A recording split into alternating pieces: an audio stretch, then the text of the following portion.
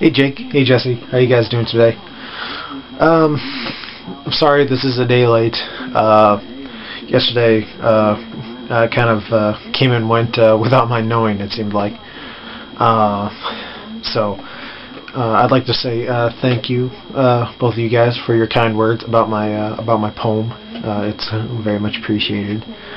Um, yeah, not not really much is uh, is uh, going on um, Jake, I'm I'm looking forward to seeing you in more color. Uh, and really, I uh, I had noticed uh, that it was uh, that all your videos were in black and white, but really I didn't. Uh, I it uh, it didn't bother me, so I guess I didn't think to ask why you were doing it all in black and white. So I think that's a that's a kind of inside joke, maybe. Um, probably not, just, but it was fun. Uh, and uh, Jesse, you brought up that uh, we haven't talked about Star Trek yet, which I think is really surprising that uh, we haven't seen it. Uh, I've seen it, and I think it's amazing. Um, so, uh, Jake, if you have seen Star Trek and you know, we want to do some sort of discussion on Star Trek, uh, I think that'd be fun. So uh, let us know. Um, and then as far as uh, uh, news in my life, uh, I just want to bring up something real quick. I I recently got into 30 Rock, which is really great. Um, I want to point something out though. Here we have Tina Fey. Now I find Tina Fey to be a particularly uh, pretty woman, uh, but when she puts on these glasses, she kind of looks like my aunt, and that really creeps me out. So I'm I'm constantly in this uh, really weird stable watching 30 Rock, going, "Wow, she's pretty. Wow, I feel gross now." Just gonna throw that out there.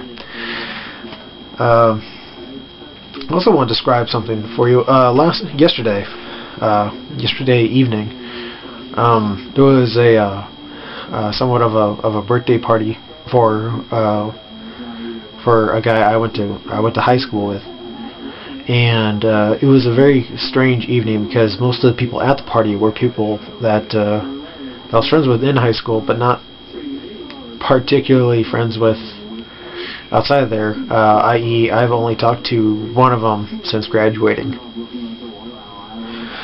So, and it's uh, it made me uh, realize that uh, some people just don't change at all. I mean, it uh, like uh, there was there was two people there particularly who uh, um, they they they hadn't changed uh, since I'd known them, and uh, and they weren't particularly nice people uh, when well actually correct they were nice people. Just they uh, uh, very snobbish uh, when I when I knew them, and and they hadn't changed at all. So I'm like, wow, this is uh, this is not fun uh, to be around those. But but it was great talking with uh, with with the majority of them, catching up. It was it was great. Uh, the guy uh, whose party it was for, uh, he he, uh, he he started up a band. It sounds great. I listened to a couple of his songs, and phenomenal guy. So, and and he's the guy that got me into 30 Rock last night. so, uh, it it was a very interesting experience. So, uh, yeah, shoot. I guess that's uh, that's all. Um, but you guys want to get into uh, questions, um, and I guess um, uh, my question uh, for you guys is, uh, what's the biggest drain on your on your wallet, and why? Uh, and I would suppose uh, my biggest drain is things like this. This little thing cost me forty dollars. Uh, probably not good since I don't have a job, but uh, I should be coming into a little bit of money uh, after tomorrow. So, fingers crossed. Yeah, um, that's all I have for you guys. Sorry, this is really short. Um,